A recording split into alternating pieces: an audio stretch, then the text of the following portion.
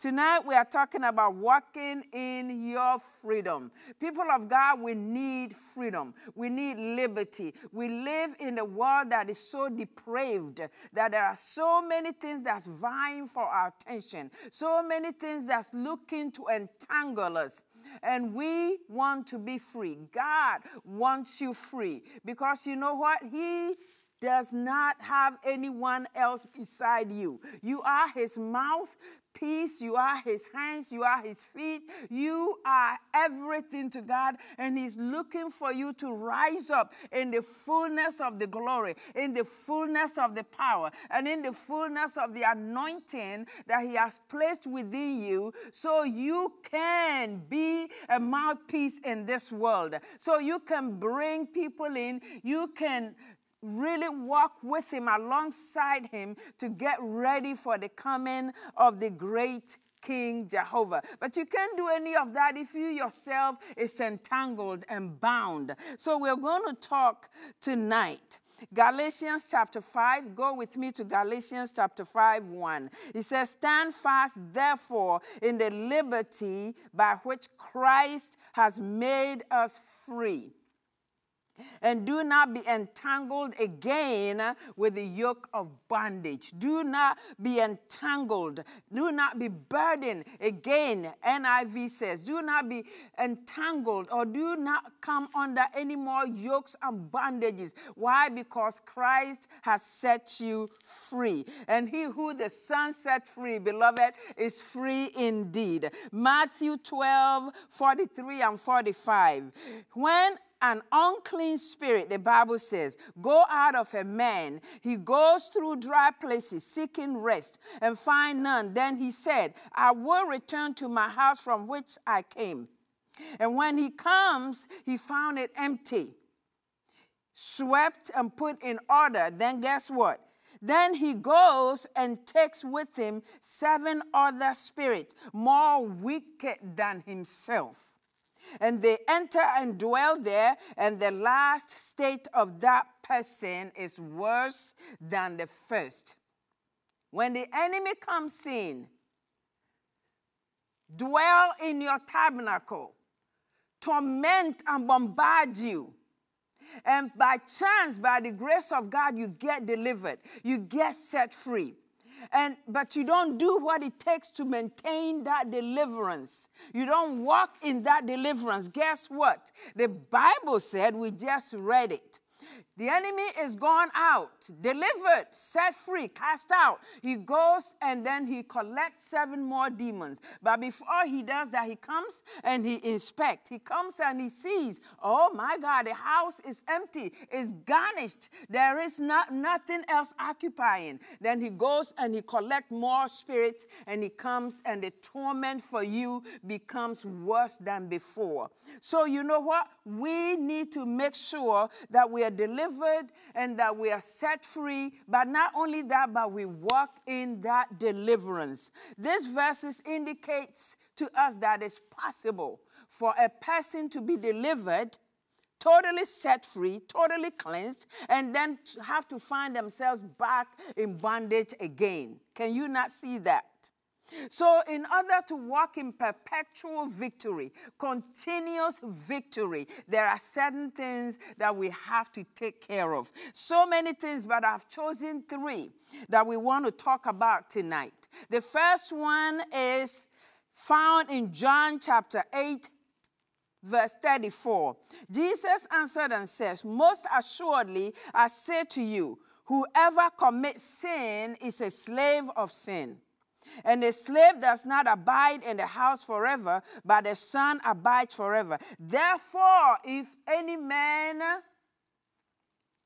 is set free, that man becomes free indeed.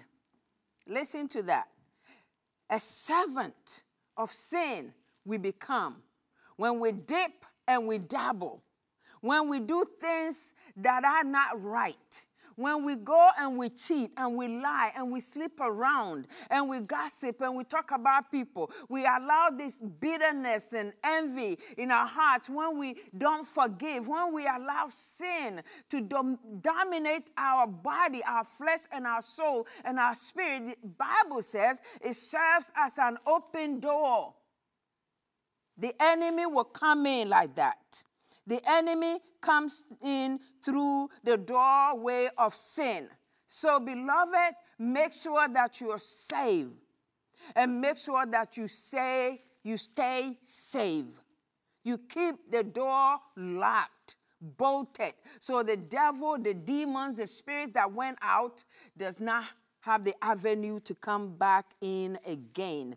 Can you say hallelujah? Thank you, Jesus. First of all, we thank you for deliverance. First of all, we worship you. We give you all of the glory. Hallelujah. Ecclesiastes 10 8 says, Whosoever break a hedge, the serpent will bite him. Whoever breaks a hedge, the hedge that God has placed around our lives, the perimeters God has placed around our lives, He's giving us ways to live and things not to do. When you go out of that perimeter, when you tread on grounds, dangerous grounds, you open the door and the enemy comes in to kill, to steal, and to destroy. Let's keep the borders closed. Amen.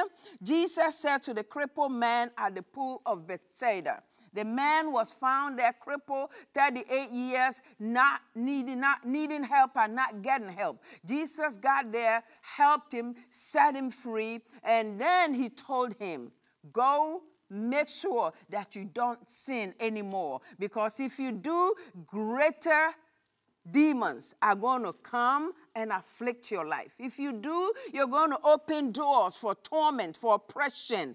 Don't sin anymore. It's an indication that sin is a tormentor. Sin will enslave you. Sin will take you to places that you don't want to go. And when you get there, you will not know how to get back out. Sin will enslave you. It has a yoke, it has a bite, and it will bite you.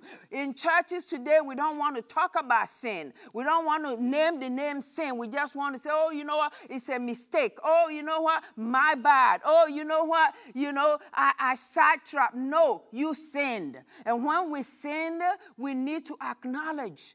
The Bible says if we confess our sins, oh my God, He's gracious, He's gracious, and He's kind, and He will forgive us all our unrighteousness. He will wipe it away, He will cleanse you, and He will empower you. As many as believed Him, to them He gives the power to become the sons of God.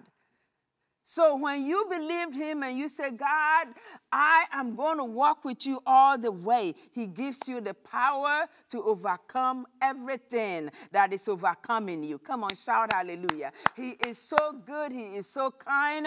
He is so amazing. He's so a father. He does not want you in bondage. When God said, don't do it, it's not because he's trying to kill your joy. It's because he knows that that road will lead you into perdition. That road will lead you into disaster. That road will open the door, it will give an access to the enemy to come in and to torment your life. So, people of God, let's take the grace of God. Amen. The grace of God has appeared unto all men, teaching us to live godly righteously. Grace doesn't permit us to go and live any kind of way and say, you know what, grace covers it. The devil is a liar. You will live and then you find yourself in a place you don't want to go to in eternity without Christ. If we keep saying grace covers it, grace appears unto all men and is teaching us to deny ungodliness. Women of God, let's deny ungodliness. Anything in your life that is not right For Christ's sake, let's ask for grace. Let's, he does never condemn us. The woman that was caught in adultery, he said, I don't condemn you, but go and sin no more. Go and do it no more. Because you know what? I need you. I need to walk through you. I need to empower you. I need you to be the agent of change for your society, for your generation. I want you to be a history maker. I want you to be the one that when you enter atmospheres, everything changes. The devil is bound, demons flee. At the mention of the name of Jesus through your mouth, it's worth it. It is worth it. We cannot exchange the best for, for little peanuts. You know, things that glitters, but are not really gold. That's vying for attention. Let's let it go. Come on, tell, tell yourself, I'm letting it go. I'm letting it go. I'm letting it go. Whatever is the besetting sin in your life, let it go. Let it go. Lust, let it go. Masturbation, yes, let it go. Adultery, yes, lust, let it go. Lying, cheating, you know, it's not a big thing, it's the little foxes that destroy the vine. So let it go in the name of Jesus. The second thing that's a big door opener, hallelujah, I'm going, is emotional health. It's emotional health. Our emotional well-being needs to be so strong so intact so we keep the devils away. You know we are we are made in three parts. We are triune beings. You have a spirit. With your spirit you commune with god. You have your emotions. You have your soul. And with your soul you there flows out of your spirit, out of your emotions, your senses, your self awareness, your desires, your intellect. Everything that makes you aware of yourself and of God is wrapped up within your soul. And so the Bible, the Bible tells us that with the Spirit we commune with God. God breathed the breath of God in us and we became a living being. So the Spirit is so important. And all of our Christian lives, we are taught to just feed the Spirit, feed the Spirit, feed the Spirit. We want the Spirit to be vibrant within us. We want the Spirit communing with God. But you know what? Without your soul being in the right, healthy place, your spirit is not going to be able to do what it needs to do. Because guess what? Your soul serves, it serves as a processor and a transmitter. It processes information and it transmits information. That's what it does. Whatever it receives, it processes it and it transmits it it sifts it out. No, we're taking this. No, we don't take it. And then it, it transmits to your spirit. And your spirit is going to receive it or reject it based on the healthy nature of your spirit. When your spirit is down and out and weak, being fed by the junk of the soul, you are not in a healthy place spiritually. So that is why the devil does everything the devil can do to bruise us in our soulish realm, to wound us in our soulish realm. Because when your soul is battered, wounded, and oppressed, everything it transmits is negativity and negativity and negativity alone and only. Do you know that the Bible says, as a man thinks, so is he? As a man receive, whatever you're receiving is what you're thinking, is what you're meditating on, is what eventually is going to uh, come out of you. And before long, you're polluting yourself and you're polluting your spirit and you're polluting your environment because out of the abundance of the soul, of the heart, the mouth is going to speak. So it's very important that we not just focus on making the spirit vibrant and strong, but also we take time with our soul. The good shepherd said, What? Come on. I will restore your soul. I will restore your soul. Because many of us, the enemy knowing the importance of your soul, targeted you, targeted you right at infancy. He tried to kill you.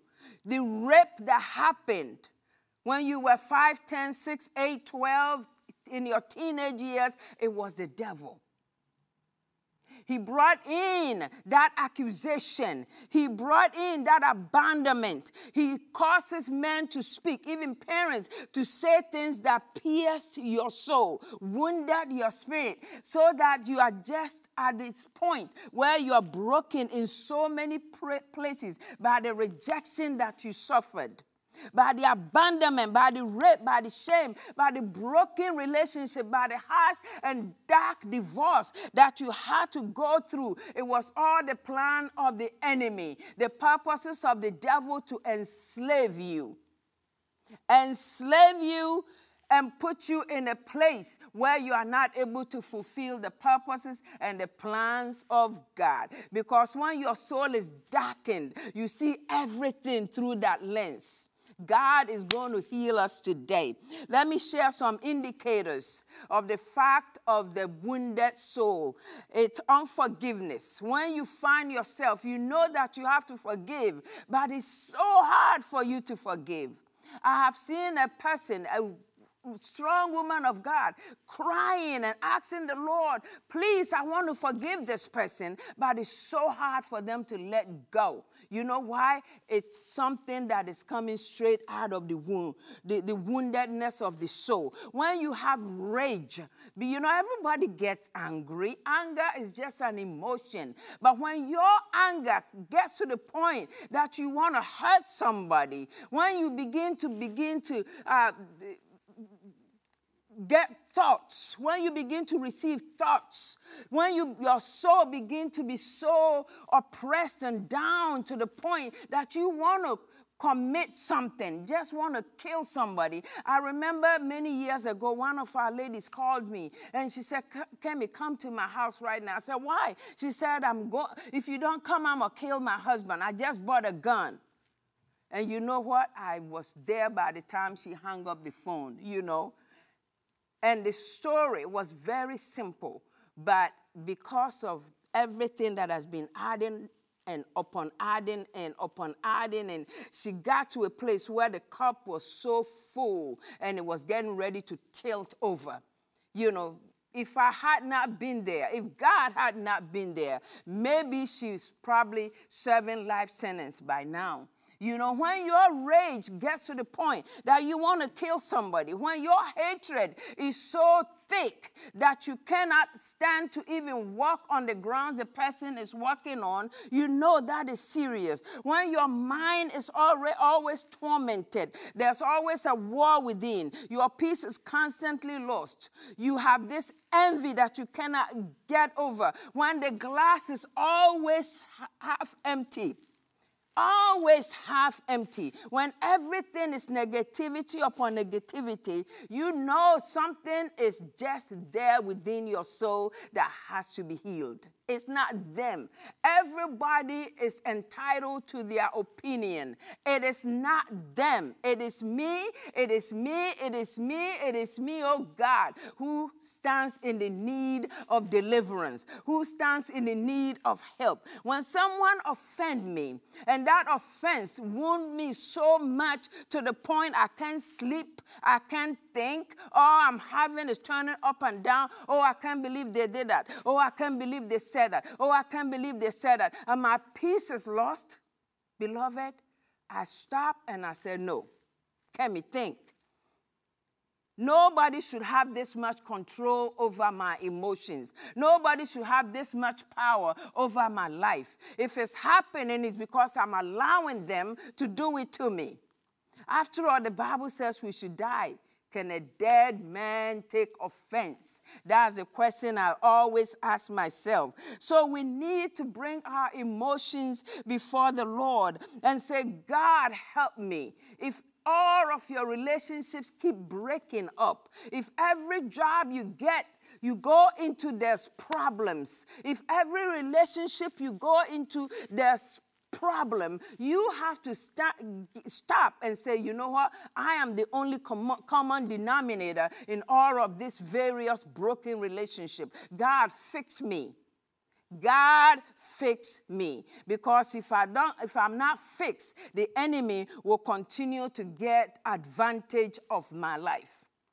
John 14 30 I will not say much more to you, for the prince of this world is coming, and he has nothing in me. That was Jesus talking to his disciples. He said, For hereafter I will say no more, because the prince of this earth is coming, and he's looking for an avenue. He's looking for ways to trap me. He's looking for ways whereby he can enslave me. He's looking for ways where he can torment and oppress my life, where he can block and stop my destiny. He's coming to look for that avenue, but he, he's not coming to create anything new.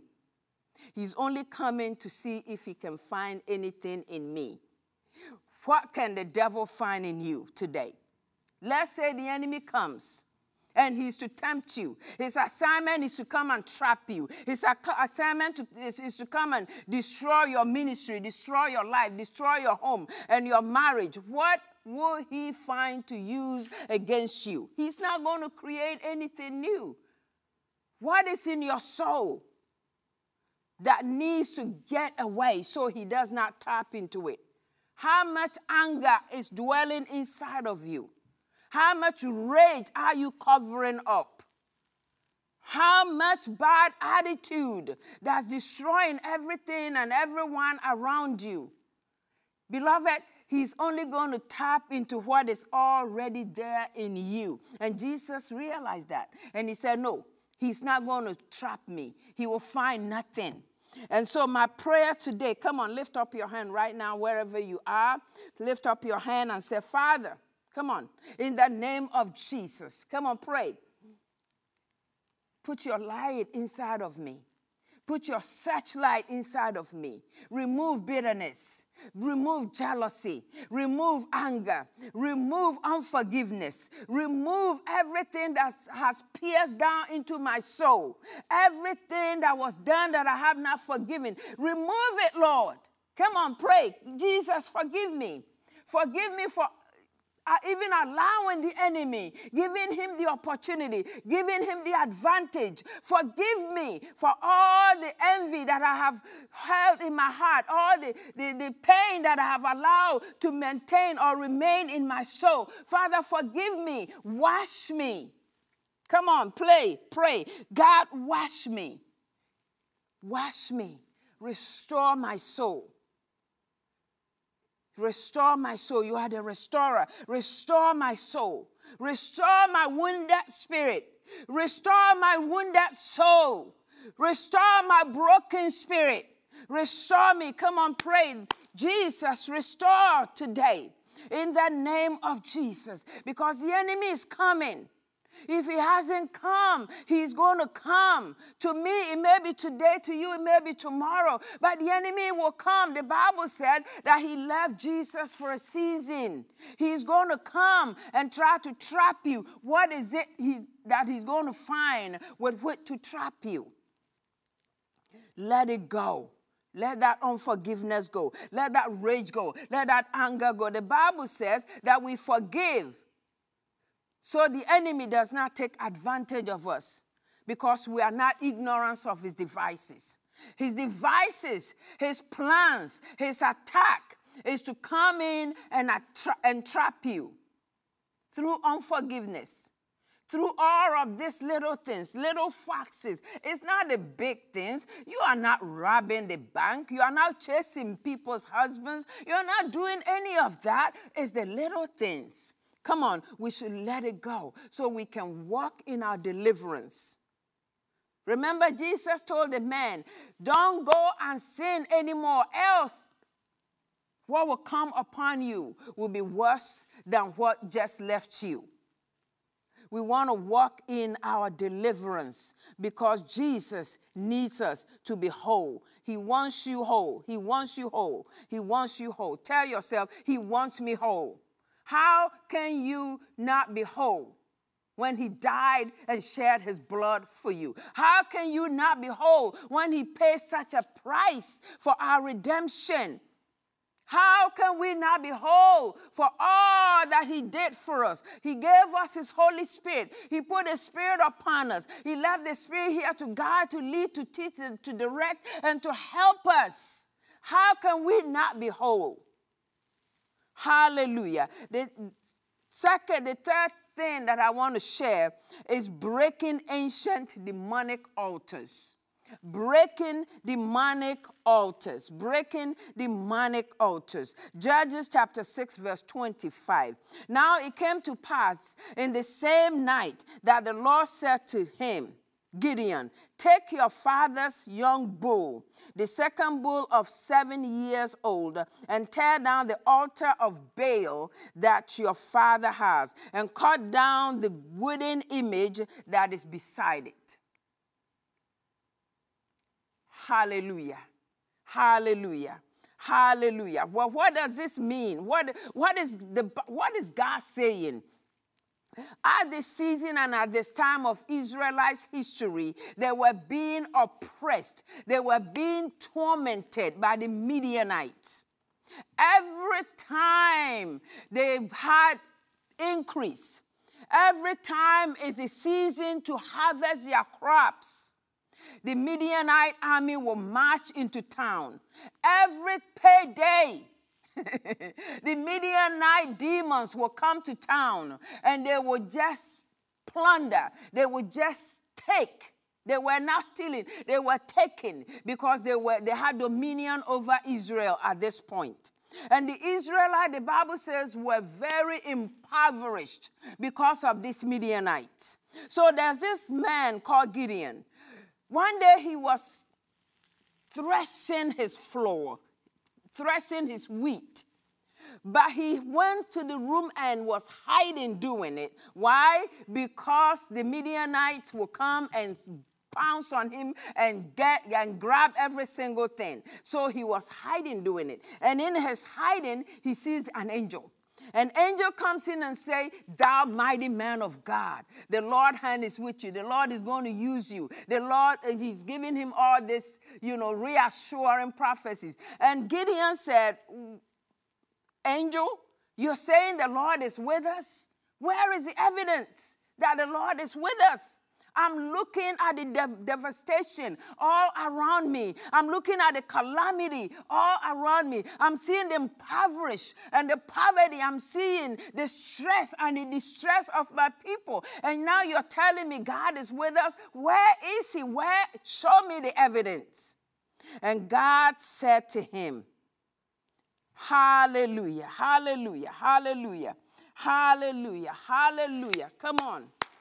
Hallelujah, hallelujah, hallelujah. So, uh, the next thing I want to talk to you is about breaking ancient demonic altars. Now, what is that?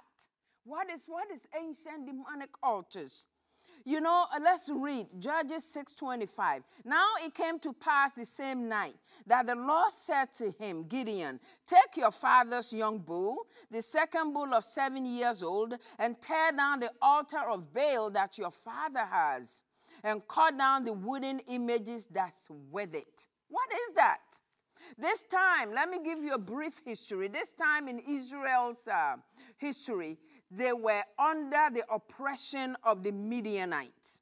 And every time there was increase, every time it was time to harvest their crops, the Midianite army would march into town and they would plunder all of their increase. Every time there was time for their sheep and their goats and all of that to bear, the Midianite army would rush to town and just demolish and take and snatch. And the Bible says that Israelite was so impoverished, highly impoverished because of this Midianite. And so there was a man called Gideon. And this Gideon, a Midianite, was not, not Israelite, was so perplexed by this that's happening. So one day he was threading his wheat, hiding in the room all of a sudden the angels of God appeared and said, Gideon, you mighty man of valor. And Gideon said, why, why, are you calling me mighty man of valor? I'm hiding here. Why are you calling me mighty man? And the angel said, I've seen the afflictions of my people, and I'm going to use you. God is going to use you to bring deliverance and this and that. And he was giving him all these blessed things he was going to do to Israel. And the man of God, the Gideon said, Angel, you know, if God is with us, why are all this calamity? Why are all this poverty? Why are all this oppression? Where is the blessedness that you spoke of? Where are all these evil things happening to us? Why are we being tormented by the Midianite time and time and time and time again? Why am I going through what I'm going through? These cyclical patterns that I'm seeing in my life. It's like every payday I plan to budget. I plan to save money. But then I get home, my washing machine is broken. My pipes busted. There's water everywhere. I have to take up tire. My child is sick. My, my stuff upon stuff keep happening. If God is with us, why are all this befalling us? Maybe that's what you're asking. You take one step forward, you take two steps forward, only to be knocked down 10 steps backwards. It's like you can't get ends to meet. It's like you can't see daylight. It's like gloominess all over. And you're asking, what is what am I doing wrong? Where where where where where where, where, where is the blessing? Where is the blessing? Everybody around me is getting blessed. I don't know where my paycheck goes. It's like I'm carrying a basket with holes in it, and everything around me is just dropping. What is happening? So, this frustrated Gideon was saying, God, where is that blessedness? And you know what? God replied. God replied back to him, and that's what we read. And God said, If you want my help, if you need me to break through for you, if you want to see the blessedness that I promised, then he promised, he said, I wish above all that you will prosper and be in health to the degree that your soul is prospering. You'll be the head and never beneath. You'll be a, a lender and never borrower. He said, You eat the best of the land. He's spoken good concerning you. He promises good things concerning you. Is he a liar? Never. But what is happening here? So he told Gideon, You want me to help you? You need to go back home. Turn back home. Your father has built an altar for the devil. Your father has built an idol by the side of this altar. Your father is encouraging this town people, these countrymen, to come in and bow and worship the devil. You want me to help you? I cannot bless you with all of your idols. Hallelujah. Oh, my God is good. I will not bless you with all of your idols. And some of us, the idols is not a thing that we set up, it's not the altar that we build. Some of us, the idol is, is everything we put behind before God. Everything comes before our worship of God. Everything, our career, we hail our families, the very families He gave you, the very job He provided for you, the very monies He gave you. Your money now is our idol. Many times, even entertainment, God said, cut up that TV and go and pray. Oh, I will do it when this episode is over. Oh, I will do it when I, I, I finish with this and I finish with that.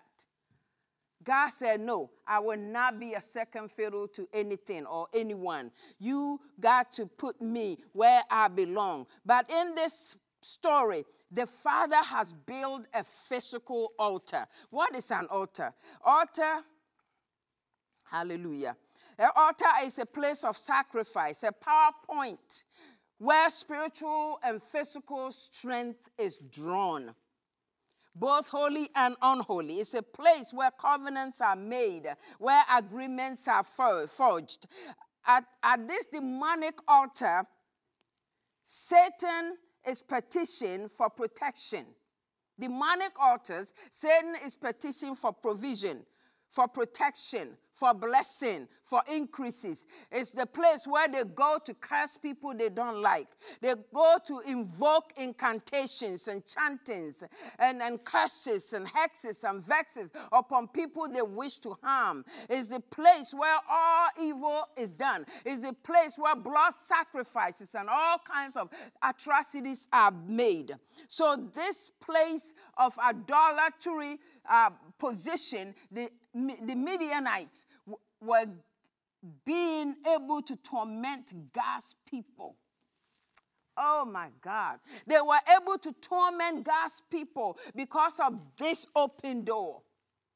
You cannot worship everything else and then expect God to bless you. You cannot go your way, do it your way, and expect God to breathe on your foolishness. We need to believe God. We need to hold Him wholeheartedly. He said to him, If you want my blessing, if you want my intervention, if you want me in your situation, you got to live clean. You got to give idols away, whatever the idol is in your life. And you got to cleanse your heart. Make sure that your emotional stability is strong and is vibrant and is holy and is righteous. And you are not able to push to and fro because emotionally you are bankrupt. God is a God that will heal you today. He's God that's going to bring deliverance. He's God that is going to bring restoration, signs and effects of possible altars, endless struggles endless pain, childlessness, broken relationship, derailed destiny, derailed purposes, systemic illness, systemic poverty, untimely death, chronic fear, chronic disease. All of this is a part and a sign to say, you know what? There is an altar somewhere. There is an altar somewhere there is an altar somewhere. Well, well, you know what? In the 21st century, Americans, we know we, we, we, don't, we don't have altars. Yes, you do, some of you. If you are from Africa, if you are of African descent, your people were not holy men according to God's order, we were idol worshippers. And most homes in Africa has deities. And most families were dedicated. And devils and demons, they don't die. They live in households. They live in generations. They call them what? Familiar spirits and they jump from generation to generation, family to family. Does, does it not surprise you that everywhere you go in the world, black folks have the same struggles because most of our ancestors sold our souls to the devil. And so the Bible says that when you come in, you got to repent, you got to break, you got to renounce. I don't know what was done. I remember a few years back, probably two years by now, I was waking up one morning and I heard the Lord said, break every altar that's been erected on your behalf. Break every altar that was erected on your behalf. I woke up saying, Oh my God, what is that? I never heard about no altars. So I got up and I started praying, researching, reading the Bible, and I realized that, wow. And I started praying, and I started breaking, and I started breaking, and I started praying. You, it, may not, it may be foolishness to you, but you know these things are real. Devils don't go. The fact that you're saved does not mean that everything in your life get taken off or cleansed by itself. Sometimes the devil has to be asked to leave. He has to be commanded to leave. It has to be things on, on your life need a breaking. It needs to be broken. So you need to take active position and say, Satan, in the name of Jesus, you are not going to rule here. You are not going to rail here, reign here. I command you to leave. And when you command, guess what? It leaves. If you want a reversal in everything that has happened that is unholy, if you want God to restore life back to you, to restore things that has been lost, to restore life.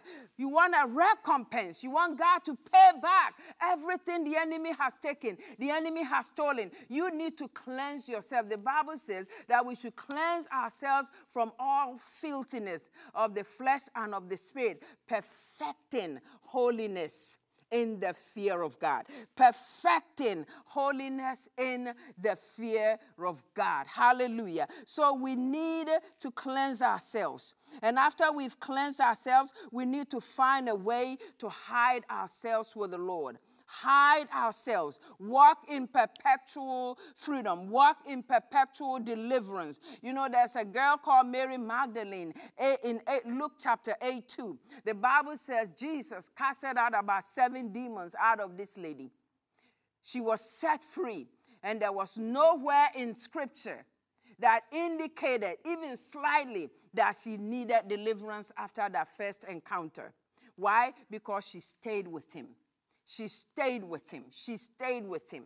She communed with him. Everywhere he went, she went. Whatever he was doing, she was doing. Even at the tomb, she was one of the first to be cited. You know why? Because Jesus was everything. Jesus was a deliverer, healer, restorer, lover, a king, and a God in her life. So she wrapped herself around him. You want to walk in deliverance? You got to wrap yourself around Jesus.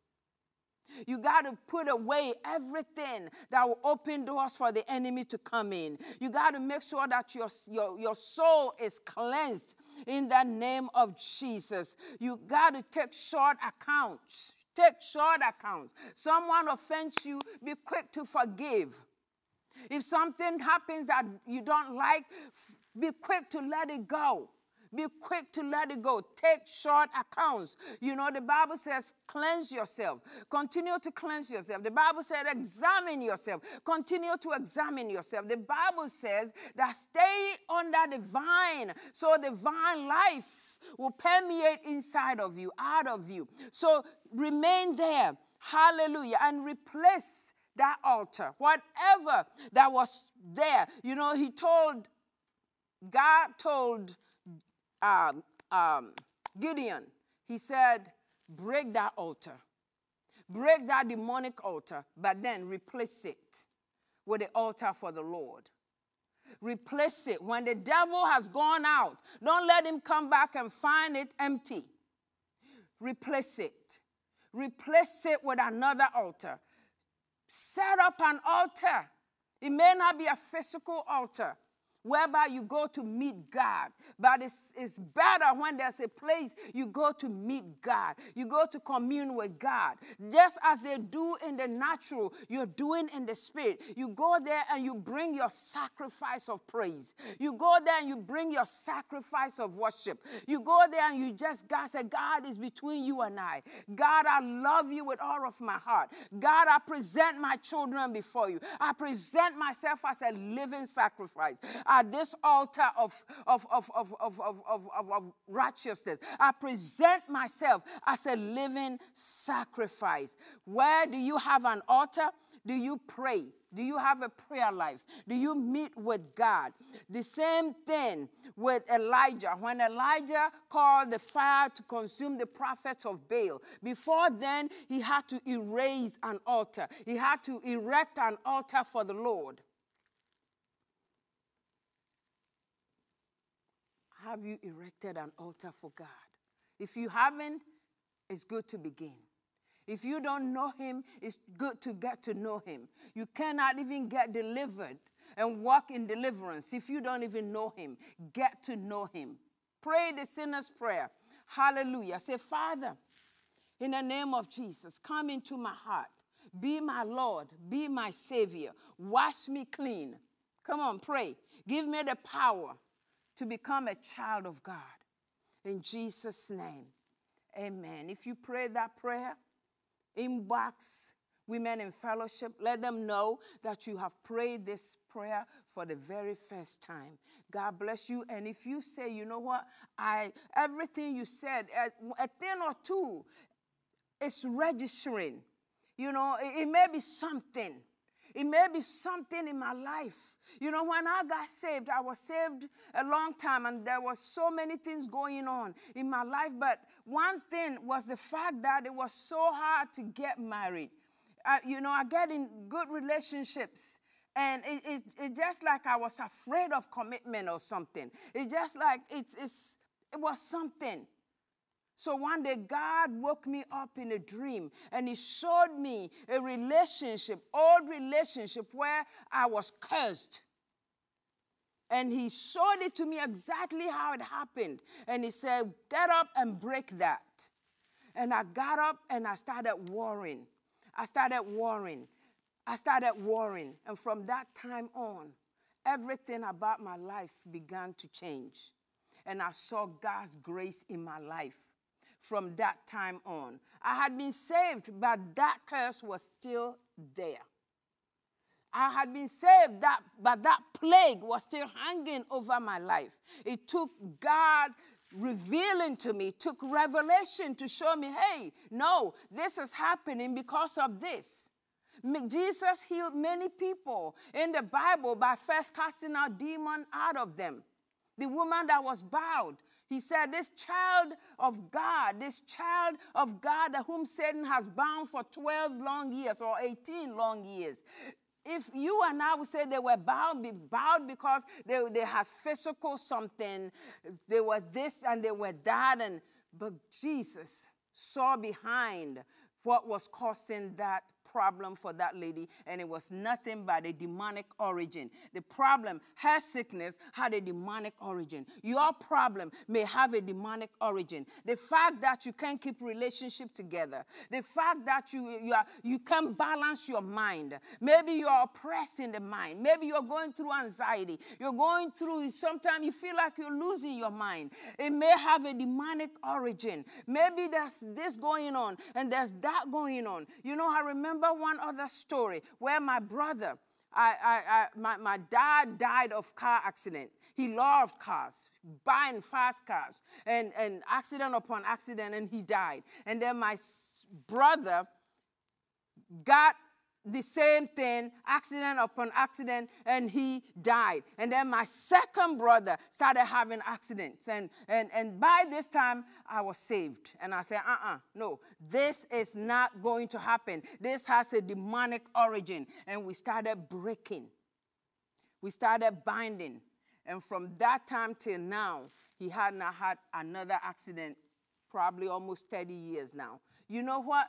God is a deliverer. He wants to set you free. He's here to set you free. He, he's here to help you to walk in perpetual deliverance. Why are you not married by this time? You're beautiful. You're, you're smart. You got it together. Why is relationship breaking? Maybe that's a demonic origin. Father God, in the name of Jesus, come on, pray. Any altar any altar, come on, pray. You pray for yourself. Any altar that is still speaking against you, any altar that's still claiming life, any altar that's still in agreement with the works of darkness, Lord, we take it down in Jesus' name. Lord, we break every cyclical patterns in our lives in Jesus' name. We break every oppression by that has come over altars, that has come over generational curses, that's come over the enemy's attacks over our lives. Lord, we break it now. We break forces of hell. We break attacks of the enemy now in the name of Jesus. Come on. Say in Jesus' name, I plead the blood. Come on, plead the blood. I plead the blood. I plead the blood. I plead the blood over my mind. I plead the blood over my soul. I plead the blood over my spirit. I plead the blood over my children. I plead the blood over, my life. I plead the blood in every dimension of my life. I plead the blood in the name of Jesus. Come on, plead the blood. Come on, plead the blood. Plead the blood.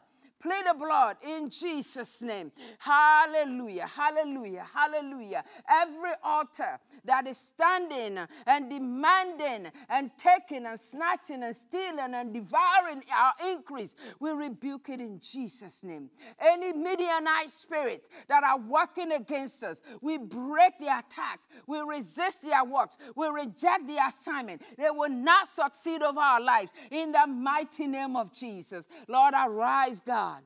Let our enemies be scattered. Come on, arise, Lord. Arise, Lord. Come on, tell him, Lord, arise. Lord, arise. Lord, arise. Lord, arise. Come on, Lord, arise. Arise, arise. Lord, arise and let our enemies be scattered. In the mighty name of Jesus. Hey, Roboshanaya. In the mighty name of Jesus. The Bible said, No weapon formed against me will succeed. In the name of Jesus. He said, Who the Son set free. Come on, you are free. Come on, you are free. Claim your freedom. Claim your freedom freedom tonight. Claim your freedom tonight. Come on, claim your freedom tonight. He who the Son set free is free indeed. In the name of Jesus, we break every yoke. We break every bondage. We rebuke every assignment. We reject, we resist, and we reject every assignment of devils in the blood of Jesus. Rise, Lord. Arise, Lord God. Arise, Lord God. Arise, Lord God. Arise, Lord God. Arise, Lord God. Release victory. Release victory. Release victory. Receive your victory. Receive your victory. Receive your victory. Receive your breakthrough. In Jesus' name. Amen. Amen. Amen and amen. Come on, give God praise. Come on, come on, come on, somebody. Come on, somebody. Come on. Give God some praise. Hallelujah. We love you, Jesus.